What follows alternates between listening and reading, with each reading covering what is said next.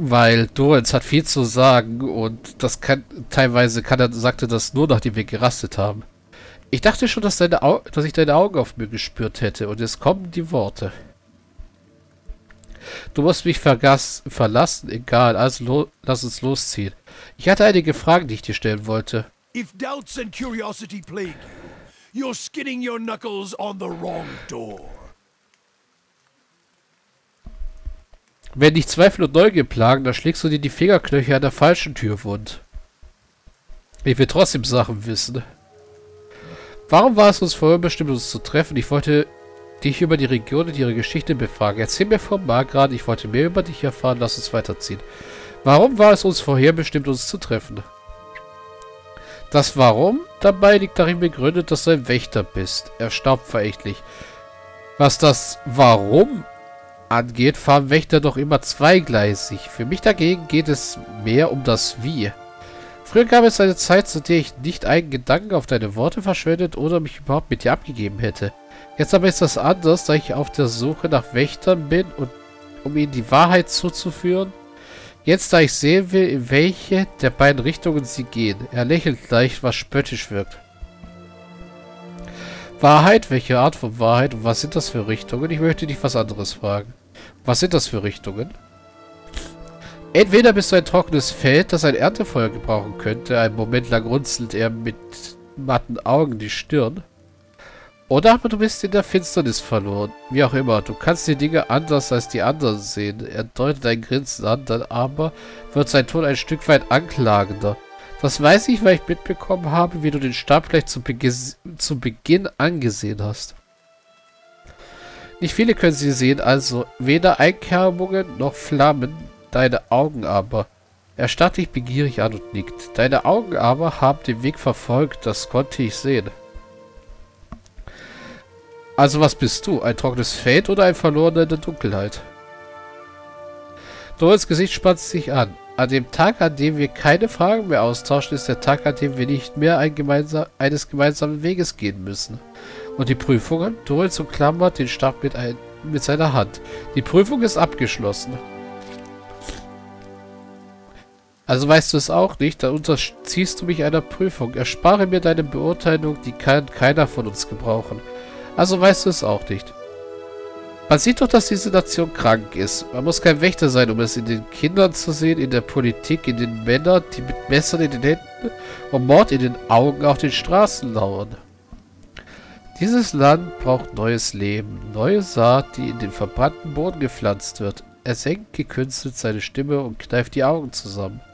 Und irgendwas sagt mir Wächter, dass du den Weg kennst, um diese Zukunft Wirklichkeit werden zu lassen. Deine Art kennt ihn immer.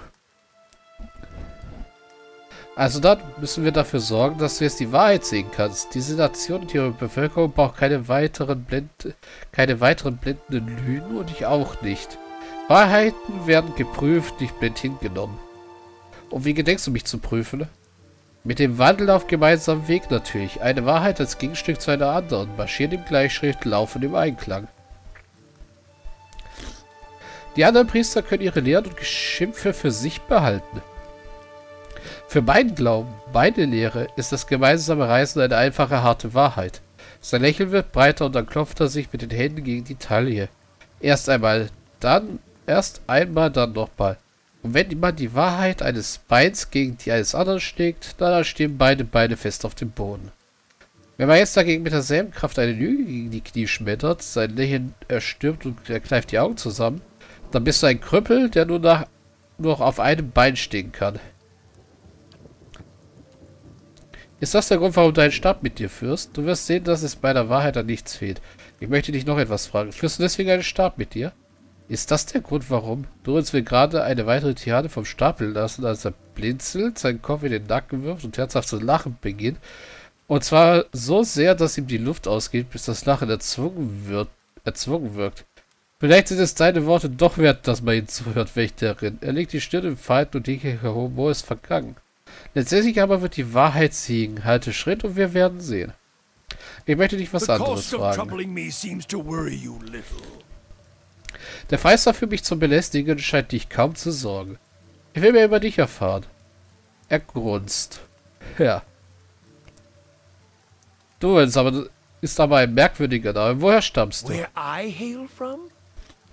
From one of Margren's fires. A cathedral. Ashfall. Made of blackened trees. Von wo ich komme? Du und seufzt. Ein Moment lang greift seine Hand den Stab etwas fest, dann sperrt sie sich. Aus einem von Margrets Feuern. Eine Kathedrale. Aschfall, gebaut aus geschwärzten Bäumen. I studied the scriptures there. The fires carved into the land. The trunks of the burnt trees. And in the factories where the rifles and cartridges were shaped. All are chapels in other devotions.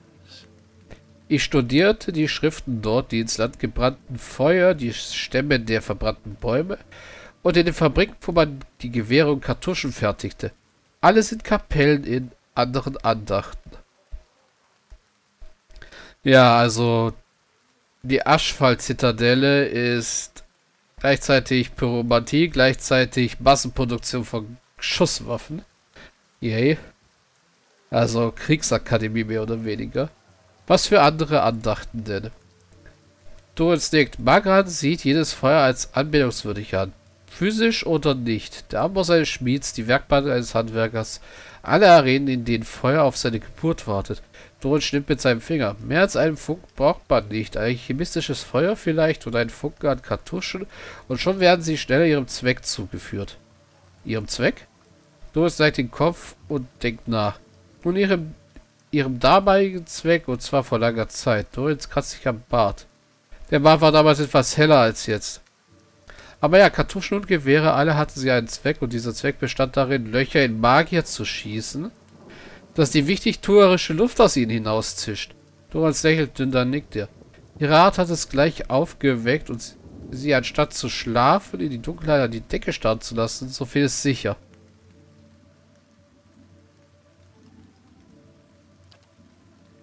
Hallo verdreht ihr Augen. Wichtigtuerische Luft, wohl wahr. Alof ist ja Magier. Ein bisschen Gewalt als Unterschied, eine Antwort auf unkontrollierbare Macht und Magran hat darauf eine Antwort gegeben. Magran hat Soldaten mit Magier gleichgestellt? Doris nickt erneut. Magier waren damals ziemlich lästig. Feuerwaffen machten jeden Mann zum Magier und die hübschen Arkaden-Schilde der Zauberwirker hatten ihnen nur wenig entgegenzusetzen. Naja, die Arkaden-Schilde halfen halt gegen Magie, aber nicht gegen ein Stück Blei im Herzen. Hm. Es verwandelte jeden Gemein in ein feuerspeiendes Biest. Es machte das Schlachtfeld im Erdbogen gleich, so viel ist sicher. Und es schickte viele Magier ins Grab. Erzähl mir mehr über Aschfall. Du hast Grund, das interessiert dich mehr als die meisten von Mankrans Gläubigen. Was kannst du mir noch über Aschfall sagen? Was gibt es da noch zu erzählen? Doris runzelt die Stirn und greift seinen Stab wieder etwas fester. Seine Finger scheinen förmlich im Holz zu versinken. Der heilige Sitz, das ist eines der größten Feuer von Magran. Er zuckt mit den Achseln.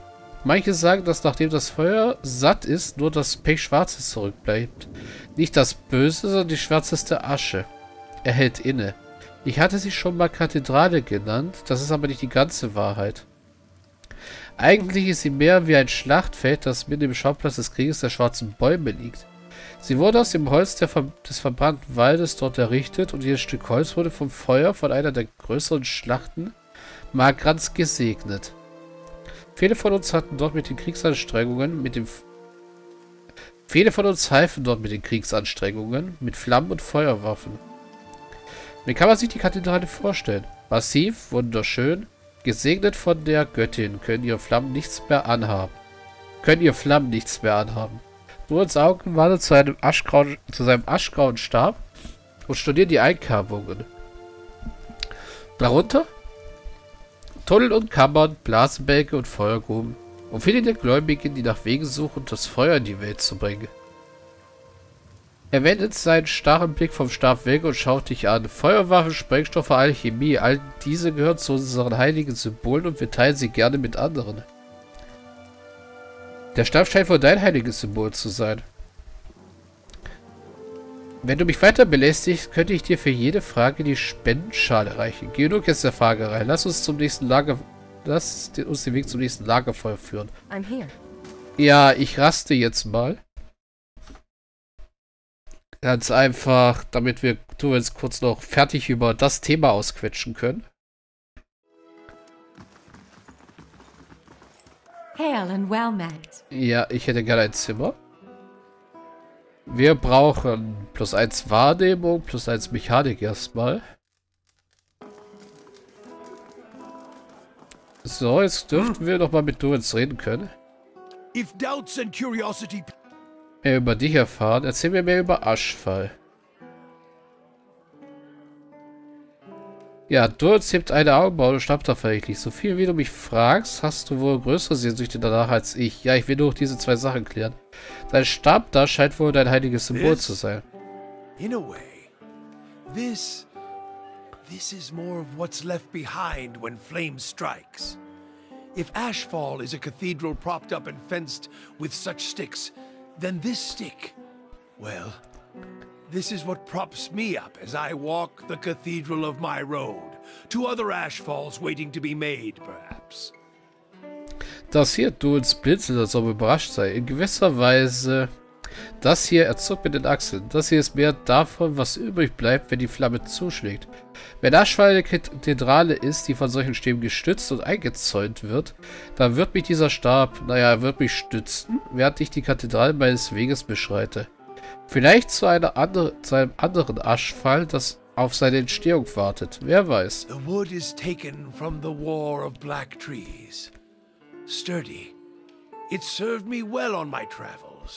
Been a boon companion. Er wiegt es und dreht es in seinen Händen. Das Holz stammt aus dem Krieg der schwarzen Bäume, sehr robust. Es hat mir auf meinen Reisen gute Dienste geleistet und war mir ein treuer Gefährte. Kannst du mir etwas über den Krieg der schwarzen Bäume erzählen? Naja, also, Doris kratzt sich mit einer Hand an einer Pockennarbe an seiner Wange, obwohl seine andere Hand weiterhin fest den Stab umklammert. Das war vor vielen Jahrzehnten. Das Feuer wallte durch die Wälder und trieb Flammen der Ernte ein. Ein Zeichen Magrans. Ihre Finger liegen auf der Landschaft dort, wo Kratzspuren auf dem Rücken Dort wie Kratzspuren auf dem Rücken eines Mannes. Doris lässt seine Hand von seiner Wange fallen und führt sie zu seiner anderen Hand am Stab zurück. Nachdem sie den Boden geheiligt hat, ist der Wald nie mehr nachgewachsen und kein Samen hat hier dort gekeimt. Die geschwärzten Bäume stehen dort noch immer wie schwarze Hände, die aus dem Boden greifen. Er kichert. Wächter, sie ist romantischer, als ich es darstelle. Schließlich trägt sie die Handschrift einer Frau. Also Magran meint er gerade. Was sind das für Einkerbungen am Stab? Reminders. Something to think upon. Devotions I can wrap my mind around when chanting words becomes tiresome. Chants lose their strength, but carving symbols into the wood with one's finger, blessed by fire. Erzählungen, Erinnerungen, etwas zum Nachdenken, Andachten, die ich mit meinem Verstand umfassen kann, wenn mich das Singen von Wörtern ermüdet. Er grunzt. Gesänge verlieren ihre Stärke, aber mit einigen, mit eigenen Fingern ins Holz geschnitzte, vom Feuer gesegnete Symbole? Doris fährt mit einem Finger den Stab entlang, worauf das Symbol dort mit roter Feuersglut leicht aufleuchtet. Als er seine Hand wieder wegzieht, leuchtet es immer noch und er starrt es an, während die Feuersglut in seinen Augen reflektiert wird. Texts. If there were many texts to be had. Texts remind me of a deer, the perfume of aristocracy. Ich halte Symbole für eine größere Quelle der Andacht als Worte und Texte. Das heißt, wenn es viele Texte gäbe. Er grunzt und rümpft seine Nase. Texte erinnern mich an Edir, das Parfüm des Adels. Alof geht. Wenn ihn nur das gesprochene Wort auch so schnell ermüden würde. Doran scheint den Kommentar nicht bemerkt zu haben. war of black trees and this staff I carry are the only hymns and devotions I need. And it's a symbol, one that the faithful and faithless alike understand. Er macht den Rücken gerade und seufzt, während seine Hand wieder den Stab hält. Der Krieg der schwarzen Bäume und dieser Stab, den ich bei mir trage, sind die einzige Hymnen und Andachten, die ich brauche. Und er ist ein Symbol, das Gläubige wie Ungläubige gleichermaßen verstehen. Aschwalds Vorräte an Feuerwaffen, Sprengstoffen und alchemistischen Feuerklingen gefährlich. Ja, Dienst du Whale, also mehr können wir wieder nicht rausquetschen, aber das ist auch gut so. Wir sollten jetzt mal langsam gehen. Denn jetzt müssen wir noch zwei zwei Quests abschließen, glaube ich. Und dann können wir in den Tempel gehen. Ich habe nämlich, glaube ich, auch immer noch die Rache aus dem Grab offen, oder? Ja, Rache aus dem Grab ist offen. Absolutely. Dafür muss ich kurz äh, Inogrets Haus finden. Das ist ja zum Glück auf dem Weg. Und ich gehe erst zum Müller, dann in das Haus. Und ich hau mal den Geschwindigkeitsboost ein, dass wir uns schneller bewegen hier. So. Äh, nicht pausieren, sondern den Booster wegnehmen. Und hier reingehen. I'm here. So. Hail and well night. Trummel nickt dir zur Begrüßung. Du bist zurück, hattest du Glück bei Sveno. Ich habe mit ihm gesprochen. Trummel atmet tief ein. Und was hat er gesagt? Ich konnte ihn überzeugen, deine Familie in Frieden zu lassen. Wie, jetzt echt? Das sind tolle Neuigkeiten. Ich war mir nicht sicher, ob du zu ihm durchdrücken könntest. Die Hälfte der Zeit sind doch sind sie doch vor lauter so völlig von Sinnen. Ich stehe tief in deiner Schuld, hier für dich. Er nimmt sich seinen Münzbeutel vom Gürtel und drückt ihn in die Hände. Die heutigen Tagesannahme als Zeichen meiner Anerkennung. Außerdem kannst du dir sicher sein, dass ich alle wissen lassen werde, was du für mich getan hast.